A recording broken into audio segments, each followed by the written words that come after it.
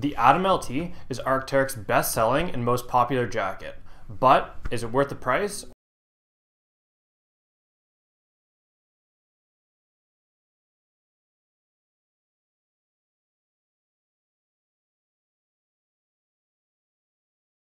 is probably the most common Arc'teryx jacket you're going to see out on the streets.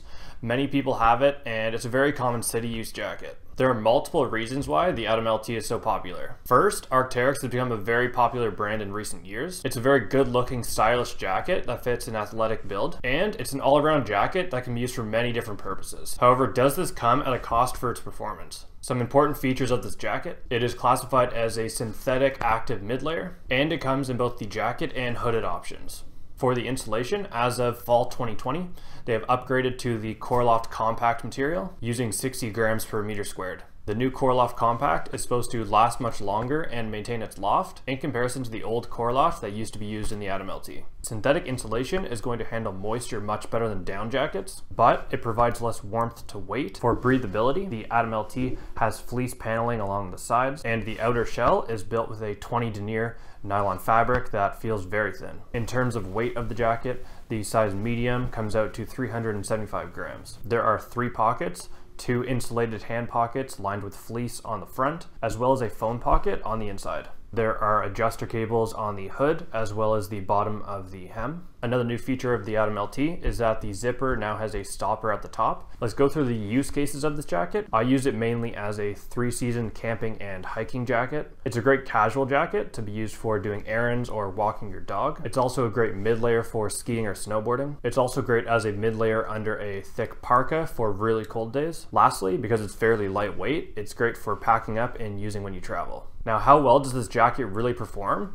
and is it really worth the price? In terms of warmth for this jacket, I consider it about the same warmth level as a very thick fleece. Something like the Patagonia Better sweater is going to be a very similar warmth to this. Because of the fleece paneling on the sides, it's really meant for active use and not static use. It's fine for hiking. However, if you're walking your dog or just standing still, you will find it does get cold. If it is in the low teens in Celsius, you're really gonna need a base layer under this jacket. Otherwise, it's not gonna be warm enough. I have found that anything lower than about 12 degrees Celsius and you're gonna need at least a base layer and a fleece underneath for it to keep you warm. Again, that is mainly for static use, either walking or using at camp. And I have found basically once it's the fall time, the jacket is just not warm enough by itself. In the summer, it's great as a packable, almost sweater alternative, but once it's fall, it's just too cold. I just really wish the Atom LT was warmer. It, for me personally, it just doesn't fit my use case.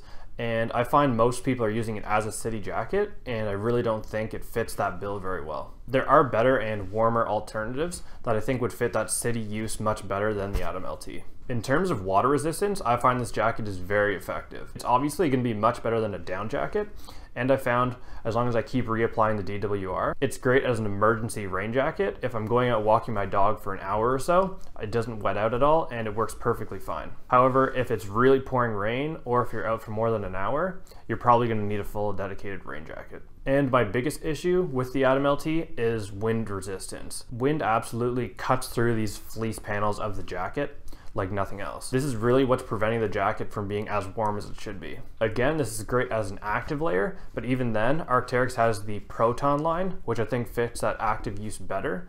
So I really don't see where the Atom LT fits in their lineup. And for any really high output activities like running or cycling, I think this jacket would just be too warm. So it's like good for maybe hiking, but if you're probably gonna get too hot if it's not in the low teens or single digits. The Atom LT is not considered an ultralight jacket as it comes in at 375 grams. However, for most people, it is light enough and packable enough. All you have to do is take the jacket and pack it into its own sleeve and it's fine to put in your backpack. Let's go over the durability of the Atom LT. With the recent improvements to the Atom LT made in 2020, it should be more durable than the previous versions. I've currently had this jacket for a year and have had no issues. The insulation in the jacket is still working very well. It still has full loft and there's no rips on the outer material. A common issue that people have had with this jacket is abrasion to the outer fabric from either a seatbelt or wearing a backpack for a long period of time. I personally don't wear it when I'm hiking with a heavy backpack, so I haven't found that issue. I mainly use it when I get to camp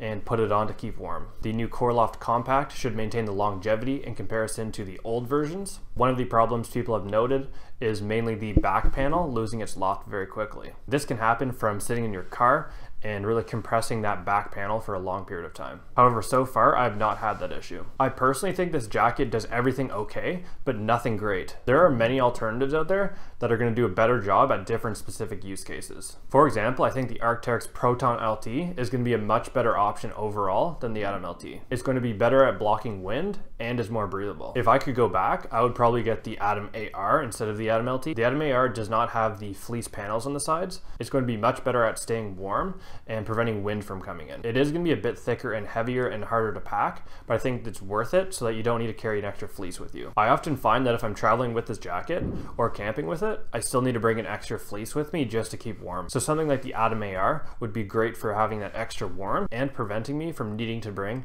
an extra fleece. Another great option for warmth would be the Fjällräven Expedition Light Down Jacket. I have done a review of that, so I'll put that up in the corner. I think that one's also great for being light and very warm. And another warm option would be the Arc'teryx Thorium jacket. If you're looking for a travel jacket that's very packable and light, Something like the Cerium from Arc'teryx would be very light. There are also cheaper options that would fit this bill very well. Something like the Uniqlo down jacket or the Decathlon Trek 100. Both very popular jackets in the travel community. So in conclusion, the Arc'teryx Atom LT is a very overrated jacket. I don't think it's worth a $350 price. There are many better options depending on what you're using it for. I personally would recommend the Atom AR or a down jacket that's lighter. If you're looking for an active use mid layer, I think the Proton LT is gonna be much better as well. They also have the new Proton Hybrid, which could work even better. Thank you for watching my review. Please like the video and subscribe for more.